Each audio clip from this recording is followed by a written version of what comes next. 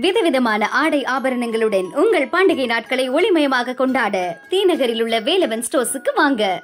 லோக்சபா தேர்தலில் பாஜகவின் தேசிய ஜனநாயக கூட்டணிக்கு எதிராக எதிர்க்கட்சிகள் இண்டி கூட்டணியை உருவாக்கியுள்ளன. இதில் காங்கிரஸ் திமுக திரிணாமுல் காங்கிரஸ் ஆம் ஆத்மி சமாஜ்வாதி உள்ளிட்ட பல கட்சிகள் இடம்பெற்றுள்ளது.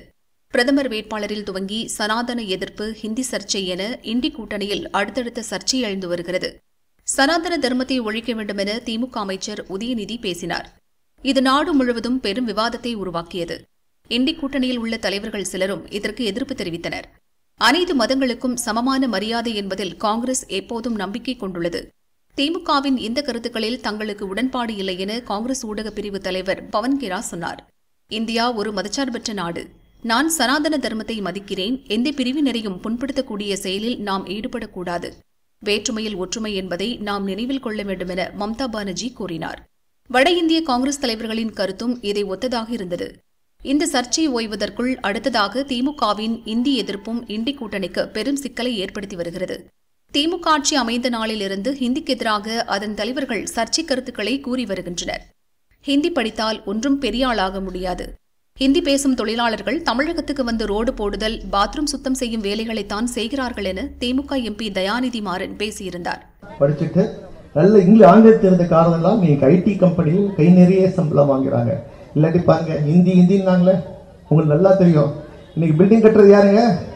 இன்னைக்கு பாருங்க எல்லா வேலையும் வந்து யூபியில ஹிந்தி மட்டும் படிக்கிறவன் தான். பீகார்ல ஹிந்தி மட்டும் படிக்கிறவன் இங்க வந்து தமிழை கத்துக்கிட்டு இன்னைக்கு நம்ம வீடு கட்டி தரான் சாலையை பிறக்கிறான் கக்கூஸ் கழுவுறான் இதாங்க ஹிந்தி படிச்சாங்க.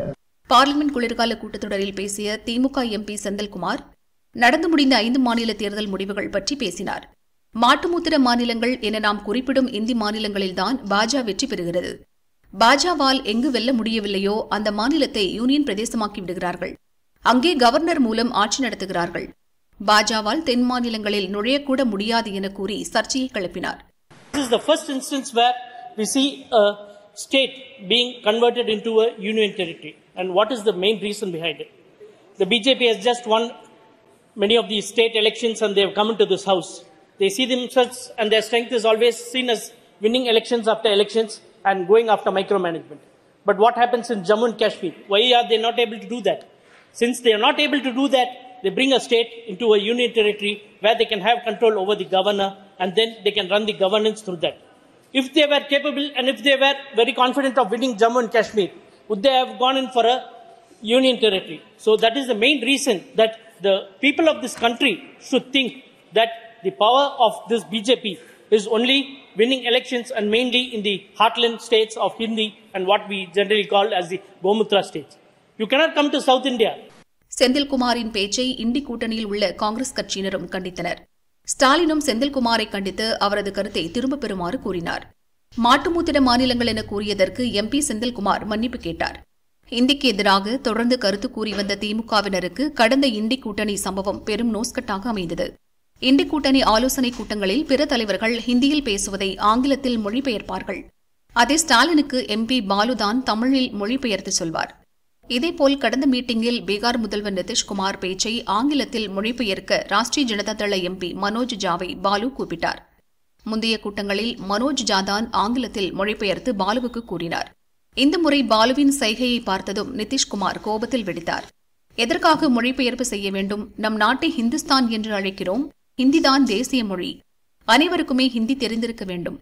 அப்படி இல்லை என்றால் அதை கற்க முன்வர வேண்டும். ஆங்கிலம் அந்நிய மொழி. இந்தியர்களாகிய நாம் அனைவரும் ஆங்கில மோகத்திலிருந்து முற்றிலும் விடுபட வேண்டுமென பொறிந்து தள்ளினார். சில தலைவர்கள் எழுந்து வந்து நிதிஷ்குமாரை சமாதானப்படுத்த வேண்டிய அளவுக்கு நிலைமை மோசமானது. அதன் பிறகு சில தலைவர்கள் ஆங்கிலத்தில் பேசினர். கூட்டத்திற்கு பின் கோபத்தில் பிரஸ் மீட்டை தவிர்த்து வேகமாக வெளியேறினார் நிதிஷ்.